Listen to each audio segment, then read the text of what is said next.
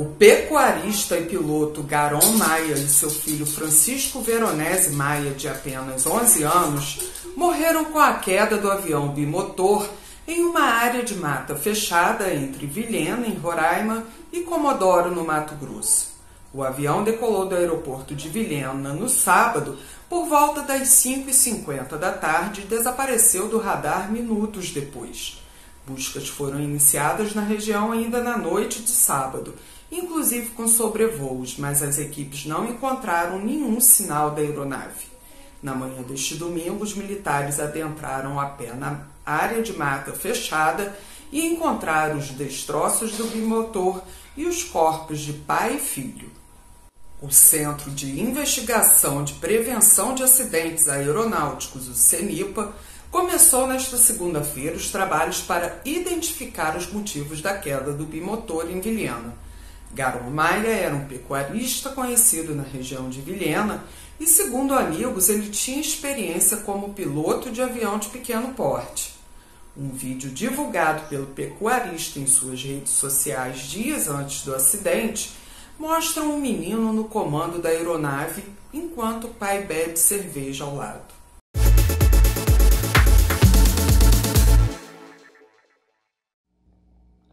Um carro bateu em uma árvore na Avenida Perimetral Sudeste, próxima à rodovia federal em Sorriso. Um homem, uma mulher e uma criança foram encontrados mortos no local. Uma quarta pessoa que também estava no veículo foi socorrida pelos bombeiros. A batida foi tão violenta que o carro praticamente se partiu ao meio. A polícia está investigando as causas do acidente.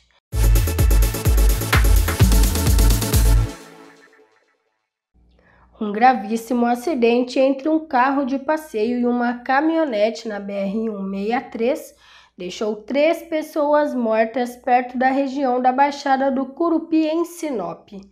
Equipes da concessionária Nova Rota do Oeste e do Corpo de Bombeiros estiveram no local e constataram a morte de uma das vítimas no carro de passeio e duas vítimas carbonizadas na caminhonete.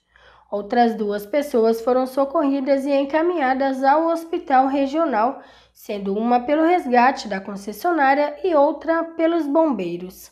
A caminhonete pegou fogo e ficou completamente destruída.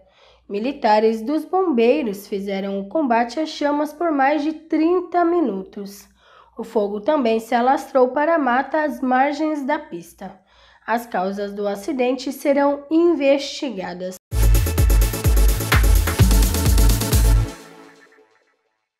Um bebê de um ano e oito meses morreu afogado em um rio, no distrito de Água Limpa, em Novo Biratã, neste domingo.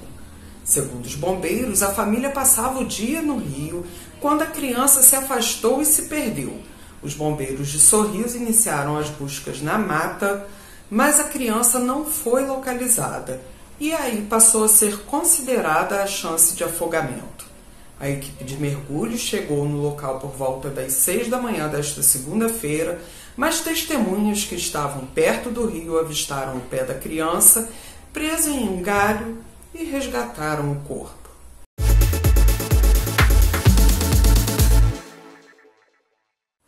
Policiais apreenderam na noite deste domingo três adolescentes de 15 anos e prenderam três homens por formação de quadrilha furtos e receptação e querência.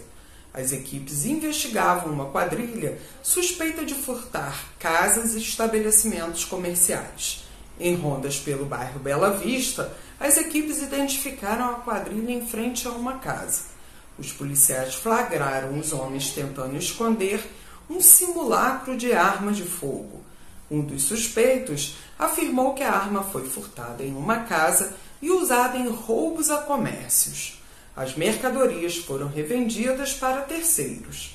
Os militares realizaram buscas na casa dos suspeitos e ainda conseguiram recuperar diversos produtos furtados, como notebooks, celulares e perfumes.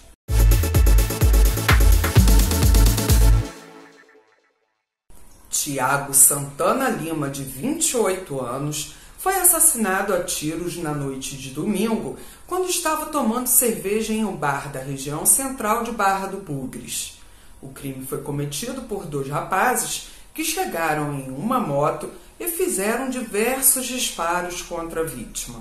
Um vídeo registrado por uma testemunha mostra os dois suspeitos subindo na moto e fugindo do local logo após cometerem o crime. O corpo foi encaminhado para necropsia em Tangará da Serra e a Polícia Civil investiga o caso.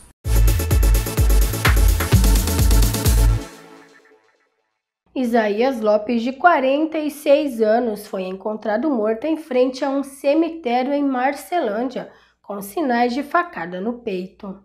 A namorada dele, de 41 anos, também foi encontrada ferida no banheiro da casa dela.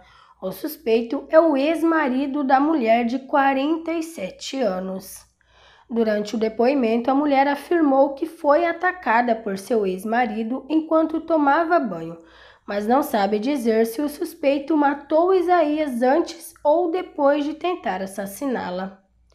O caso está sendo tratado como homicídio doloso consumado e tentativa de feminicídio. Até o fechamento deste boletim, o suspeito ainda não havia sido localizado.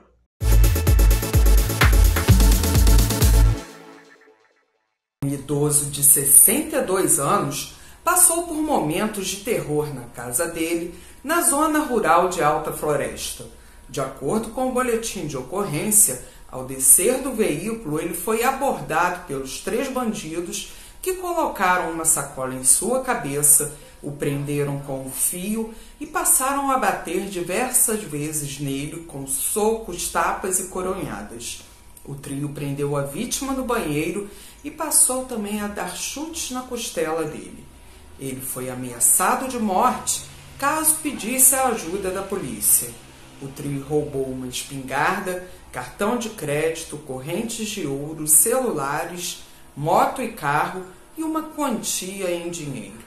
A vítima conseguiu se desamarrar e pediu ajuda de vizinhos. A polícia fez rondas pela região, mas até o fechamento deste boletim, ninguém foi preso.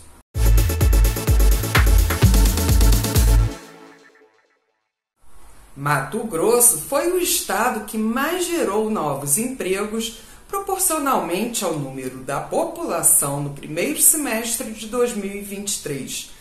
Com 3 milhões e 600 mil habitantes, foram 10.600 novos empregos. O número de novos postos de trabalho gerados em Mato Grosso fica atrás apenas dos três estados mais populosos do país são Paulo, Minas Gerais e Rio de Janeiro. Conforme o Observatório do Desenvolvimento da Secretaria de Estado de Desenvolvimento Econômico, as proporções de vagas de emprego pela quantidade de habitantes dos estados são 0,29% em Mato Grosso, 0,12% em Minas Gerais e 0,08% em São Paulo e no Rio de Janeiro. Os dados são do Cadastro Geral de Empregados e Desempregados, o CAGED, de junho.